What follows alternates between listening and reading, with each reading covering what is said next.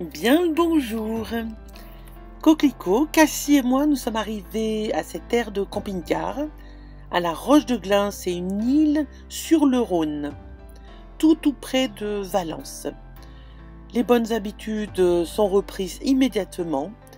Cassie traîne au soleil, tout près de Coquelicot.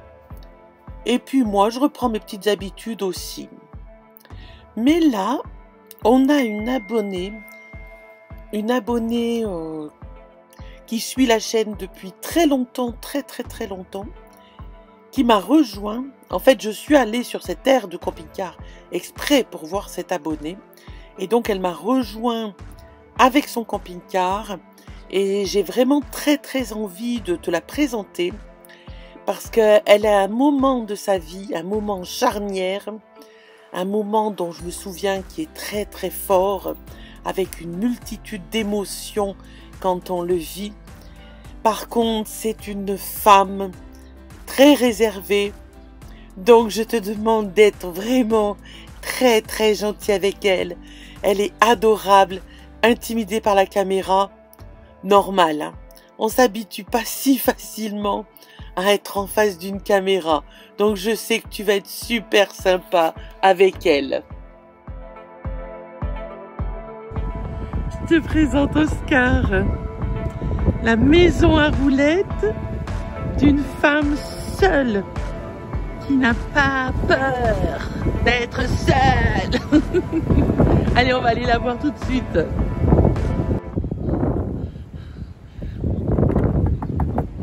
On va aller voir qui est-ce qu'il y a dedans. Coucou Ça va? Très bien.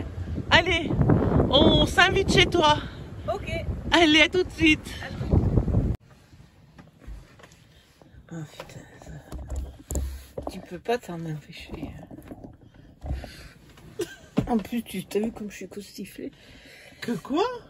Comme je suis costiflé. Ça veut dire quoi ça? Costiflé, habillé. Alors?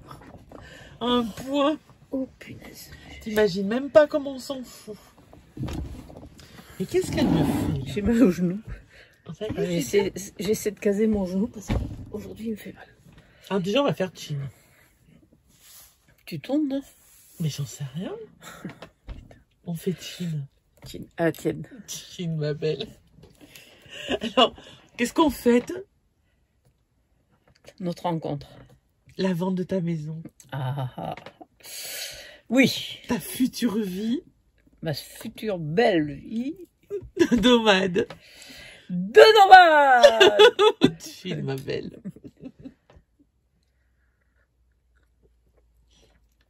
Ouais. Non, mais c'est vrai que c'est un moment spécial. C'est sûr. Et ça sera encore mieux le jour où je partirai au volant Ah ouais. pour euh, que j'aurais donné les clés et hop, Ouais. rouler jeunesse. Enfin, jeunesse. Mais si, ça forme la C'est jeunesse, les voyages. Ouais, c'est toujours ce qu'on m'a dit. Surtout que ça fait longtemps que tu as envie de partir. Ah oui, oui. J'ai toujours. euh, Enfin, déjà, euh, le camping-car, ça me botte. Et je. Depuis ma retraite, je devais partir. Donc, euh, Ça fait 4 ans, 6 ans. Euh. 5 ans. donc on va quand même redire. Donc, Jacqueline, Jacotte pour les amis, une jeune gamine, toute seule, Oui, 65 ans, gamine. même pas le chien, même pas de chat, pas pour l'instant. et tu vas partir sur la route toute seule. Alors, la question fatale qu'on nous pose tout le temps, tout le temps, T'as pas peur? Voilà. Eh ben non, non. Jusqu'à présent, quand je partais en tant que camping-cariste loisir, j'avais pas peur. Donc je vois pas pourquoi maintenant j'aurais peur. Voilà. Puis si on a peur, euh, De toute façon, moi, à partir du moment où j'arrive sur une aire de repos, quelle qu'elle soit, à partir du moment où je me sens pas bien, qu'il y a, je trouve, il y a quelque chose qui me gêne, je me casse. ah mais total. Pardon, il faut surveiller ces... faut pas dire n'importe quoi. Je m'en vais. Tu sais, tu peux être toi-même. Mais t'inquiète pas, j'ai des abonnés absolument fabuleux. Comme une certaine Jacotte. Ah bon Je la connais pas. elle. qui suit la chaîne depuis très très longtemps. Oh oui, depuis, je sais pas, t'as commencé quand? Ben moi toute seule, ça fait trois ans. Eh ben, Depuis trois ans. Et ben voilà, avant que je parte en camping-car. Voilà, c'est C'est ça. tous les préparatifs dans Ouais, la maison, voilà. tout ça, voilà. Mm. Et donc ça fait un moment que tu me connais. Mm. Et là on se voit en live. Ouais. Et ça fait que confirmer quoi, voilà. Ah ben oui, tout à fait.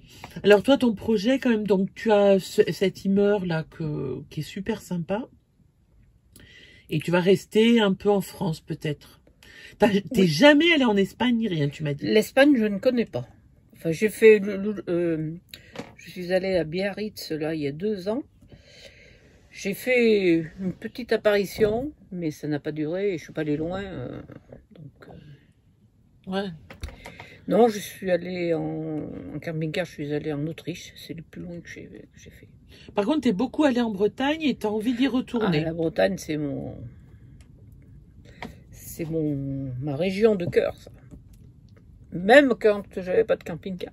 Et comment tu la vois finalement euh, au quotidien, ta vie en camping-car, mais là maintenant à temps plein? Comment je la vois? Oui. Royale. Non, je sais pas. Oui. Il y en a qui qui restent deux trois nuits à un endroit, Oui, puis non, qui mais roulent. Je ne peux pas te dire. Ça sera au feeling. J'adore, j'adore ta réponse. Je sais pas, je, peut-être que le matin je vais partir et que je vais me dire je vais où À droite, à gauche euh, Où c'est qu'il y a du beau so- soleil euh, Je sais pas. Je, j'a- je- pourquoi j'adore ta réponse? Parce qu'en fait, euh, moi je parle de mon expérience, hein, je suis pas une experte, hein, mais c'est vrai que depuis trois ans, euh, j'ai changé plein de choses, quoi. Au début, j'ai beaucoup beaucoup roulé. euh, Maintenant, je... alors hors euh, Covid, hein, Oui, ça, hors sujet. Pour moi, c'est le ça. hors sujet. Mm. Mais maintenant, j'ai envie de rouler beaucoup, beaucoup plus lentement. Euh, On change, hein, les envies, le rythme. Je pense que j'irai sûrement plus lentement que quand je faisais du camping-car euh, en loisir. Oui, Parce que souvent, tu, tu as un but, tu vas à tel endroit, tu veux faire telle et telle région, donc euh, tu bouges euh, tous les jours ou presque, pas tous les jours, mais enfin pas loin. Tandis que là, non, euh, non, non, non. À partir du moment où je vais me poser à un endroit que, où je me plairais bien, je resterai le temps que je voudrais. Et à ton avis, tu vas être attiré par quoi? Des, des villes, des Non, non. villages, la nature, euh, Moi, c'est l'eau. Donc, euh, mer, mer, lac, lac, euh, rivière. Voilà.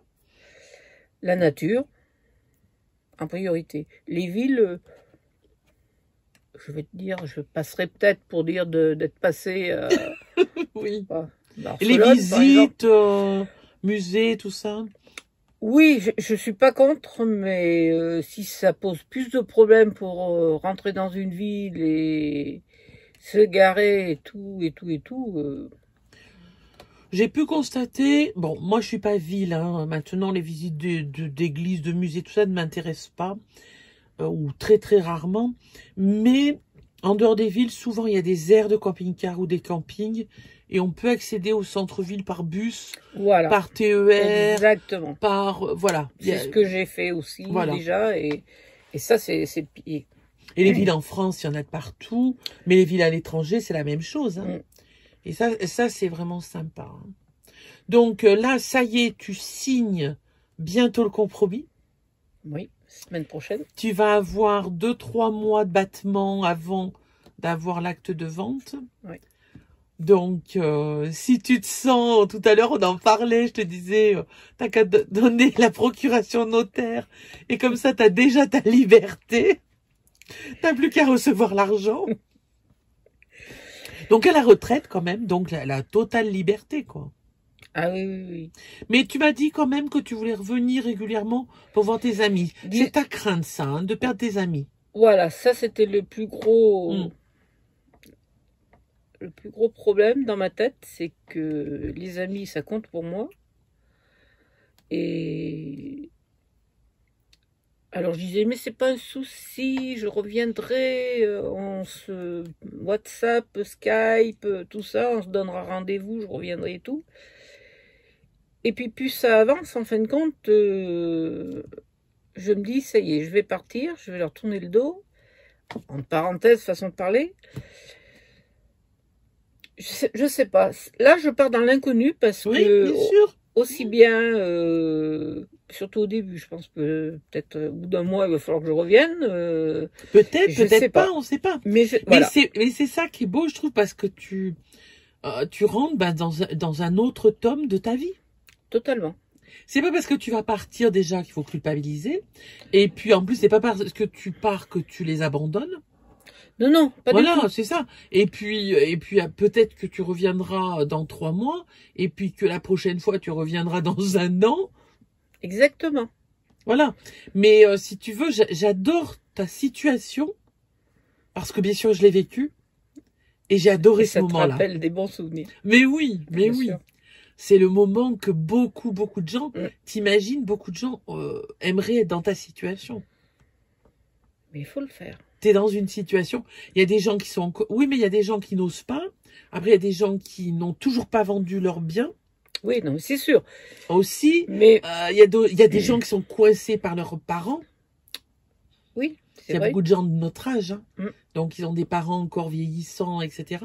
Non, c'est... Non, je te dis, t'es dans la situation que beaucoup, beaucoup envient.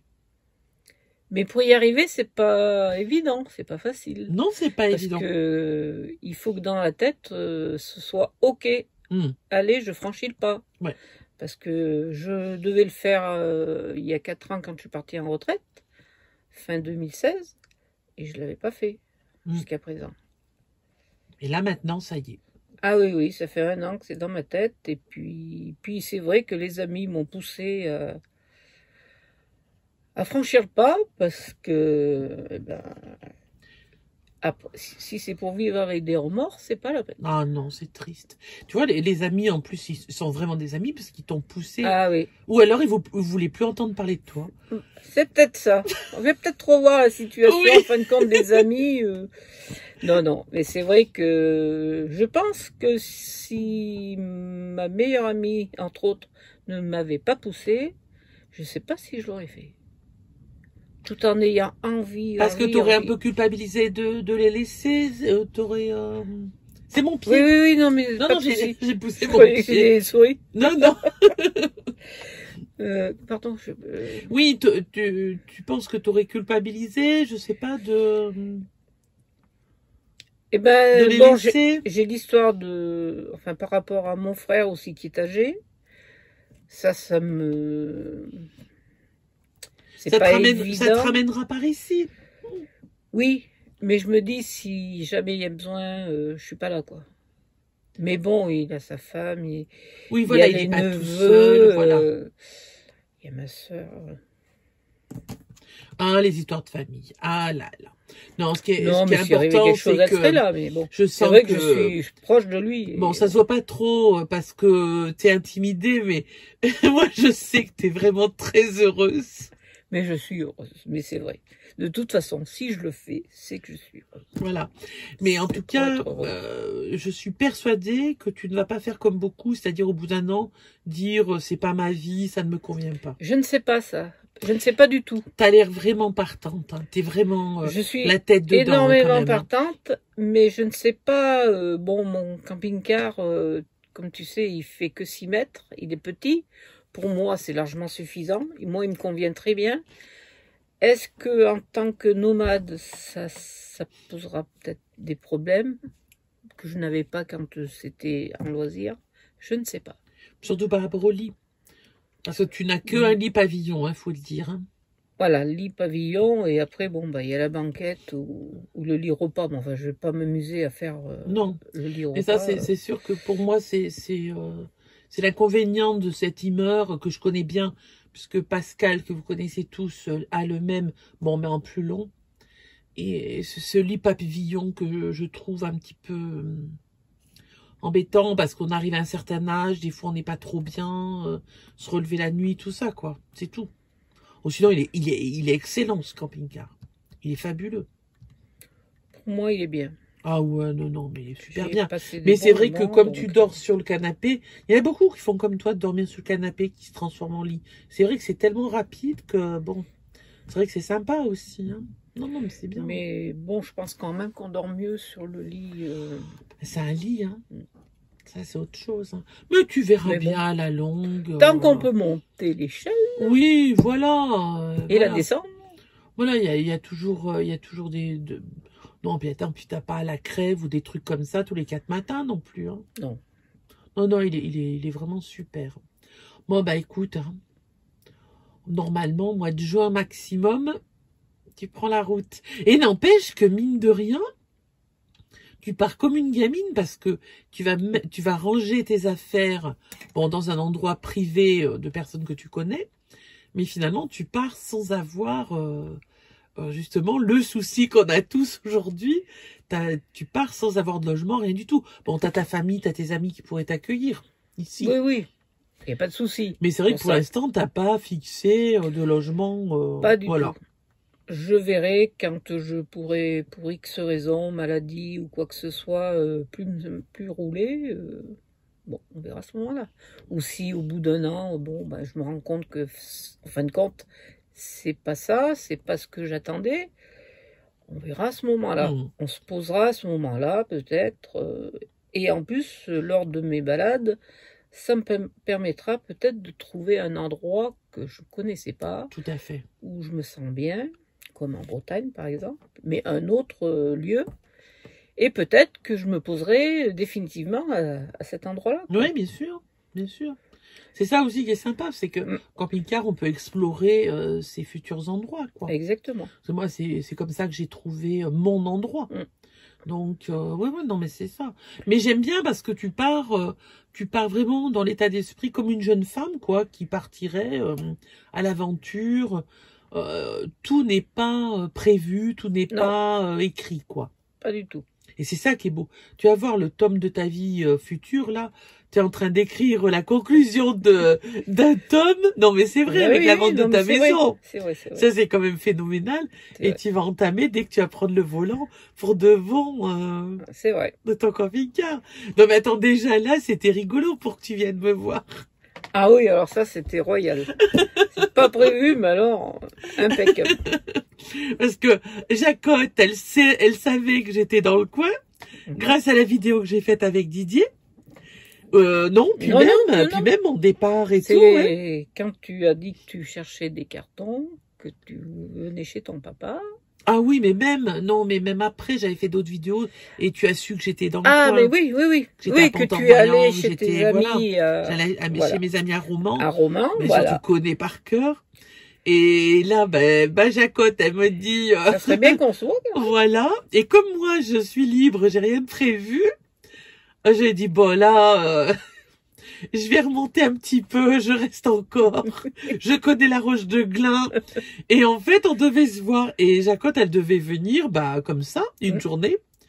Et euh, avec le couvre-feu, je me suis permise de lui dire, écoute, euh, oui, viens me voir, mais euh, tu pourrais pas prendre le camping-car, comme ça tu serais pas du tout limité en temps et tout. Et toi, t'as- Oui, en plus, j'y avais pas pensé du tout parce que pour l'instant, il était en hivernage, comme d'habitude, enfin, comme euh, avant. Et pour moi, j'avais pas l'intention de sortir. euh, bon, fallait déjà régler l'histoire de la maison. bien sûr. Et pour moi, c'était pas prévu que je prenne le camping-car. Et puis finalement, Ah ben, vite aller le chercher, puis c'est bon. hein. On n'a pas eu le temps de tout nettoyer, mais c'est pas grave. c'est pas important. Le principal, c'est que je sois là avec toi. Elle improviste, et puis voilà. Et puis on passe des bons moments, on refait le Exactement. monde, on rigole. Exactement. C'est surtout ça qui est important. Allez, tout le monde à la roche de Glin. L'air est très bien en plus. Non, puis en plus, c'est vrai que moi, j'a- j'adore parce que tu es dans l'étape, encore une fois, de la, de la novice. En plus, tu as Mhm. un caractère bon, beaucoup plus réservé que le mien. Mhm. Et tu as vu que les gens y parlent, quoi. Ah oui, T'as vu, oui. tout le monde nous a parlé, on a rigolé. euh, c'est cette ambiance en plus que t'aimes.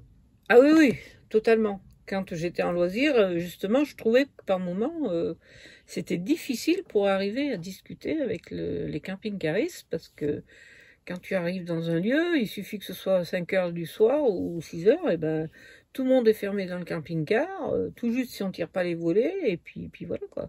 Voilà, la météo est pas super super. Bon, c'est vrai qu'on a eu quelques belles journées, mais t'as vu, bon, ce qu'il y a, c'est que moi je suis moins réservée que toi, je dis bonjour oui, et c'est sûr. Bon, Puis euh, t'es plus connu aussi. arrête, arrête. Oui, parce qu'il y a de- y a des abonnés qui, Et il y a Coquelicot. A des abonnés qui sont venus encore. Jacqueline, elle n'a pas vu tout le monde. Parce que j'ai revu pour la troisième fois Maxime et Chantal, sa femme. Euh, Ça fait trois fois qu'on se croise euh, euh, à des endroits. Bon, là, ici, à la Roche de Glin, j'étais venue l'année dernière. Donc déjà, je connaissais du monde. Ils sont encore là. Il y en a qui ont dû revenir. Donc c'est vrai que du coup, ben voilà, ça fait de l'animation avec Jacqueline. Ah mais c'est très bien, hein. Moi je sais que je trouvais ça triste de pas pouvoir euh, échanger. euh, Bon, c'est arrivé quand même, hein, quelquefois. Hein, j'ai, mais j'ai, en fin de compte, sur quatre ans, j'ai quoi? J'ai deux numéros de téléphone que je peux appeler. euh, ne serait-ce que des fois pour se dire, ben tiens, je suis à tel endroit. Si Oui. si, si vous passez par là, et ben, ben, Mais ça se fait beaucoup, ça, tu verras. ben oui, mais bon, euh, Tu verras. que deux sur quatre en quatre ans, je trouvais que c'était. Ouais, mais, Mais je cherche pas à avoir systématiquement les téléphones, mais, mais au moins échanger. oui, mais toi, avec tous les gens là que, bon, j'ai pas leur téléphone, etc. Mais c'est tombé que Brigitte euh, est encore là avec son mari euh, pour des problèmes techniques. Ouais. Euh, Bon, Stéphane, lui, il vit ici. Euh, le jeune Mathieu, là, bah c'est c'est parce que son chien est venu jouer avec moi. Je sais même pas pourquoi.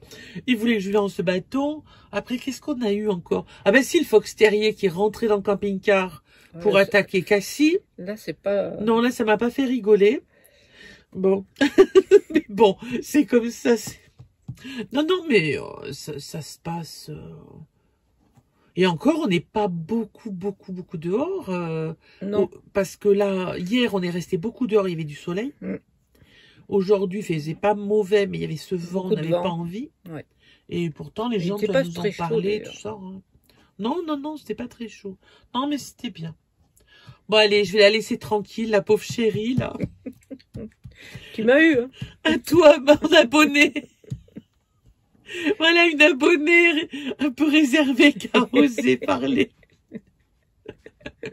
Vous voyez pas le couteau que j'ai sur la gorge. Jacqueline, merci. Merci, d'avoir eu le courage de parler devant la caméra, ma chérie. Vraiment, merci. Merci à non, toi. mais ton expérience, elle est importante, puis ça peut dynamiser du monde, ça peut... Mais surtout, si vous avez envie de le faire, faites-le. Je trouve que c'est le mot de la fin magnifique. Voilà. Ciao, ciao Bye bye.